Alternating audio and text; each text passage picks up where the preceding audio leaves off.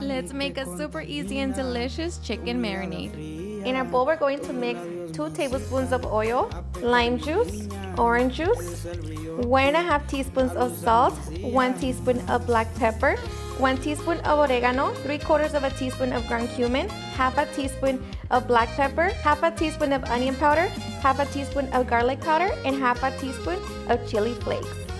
So we're just going to whisk it and now we're going to get ready to add our chicken. And now we're just going to allow it to marinate for at least 20 minutes. And after 20 minutes, we're going to preheat our oven to 350 degrees. Going to line our chicken into our baking sheet. Now we're going to bake our chicken for 15 minutes. All right guys, and after 15 minutes, check your chicken, make sure that internal temperature is at a 165. Now we're just going to cover it and allow it to rest for five minutes. After five minutes, we're going to get ready to shred our chicken. You can enjoy this delicious chicken in tostadas, chimichangas, or even tacos.